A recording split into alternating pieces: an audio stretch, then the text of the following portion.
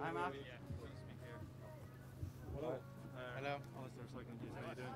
Um, why is it taking you such a long time to come back to competition? What's the like? It's a very sort of. Uh, Oh, this was- break, and, uh, is it like because you want to build up towards the new season in a different way, or what's the structure? Yeah, no, the plan was actually to do UAE Tour, but um, then actually was behind my training plan, and because I had to take a wisdom tea out and just had problems with my hip, I didn't feel good. So then we decided that it's better to start on a on a good way.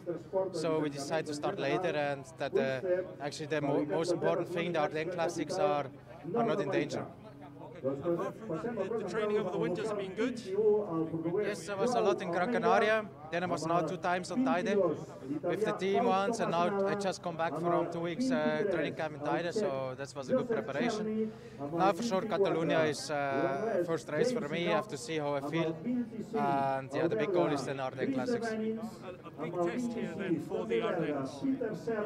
Yeah, yeah, for sure. It's it's always uh, you never know how the shape is, so it's always uh, you're a bit nervous before a first race, and so yeah, it's a good it's a good test for the Ardennes Classics.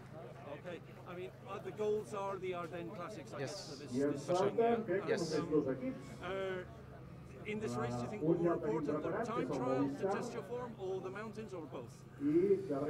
Uh, both. Uh, I mean, every time trial uh, I use as a good uh, training. I didn't. Uh, I didn't. Um, I didn't uh, did a lot of effort into time trial yet, but I mean, time trial is always good to test your shape. And then, uh, yeah, I take it day by day. Don't want to make too much pressure at this stage race here, but uh, yeah, I, I, I will enjoy racing here. It's a spectacular field, so there's going to be a lot of opportunities to compare your form here.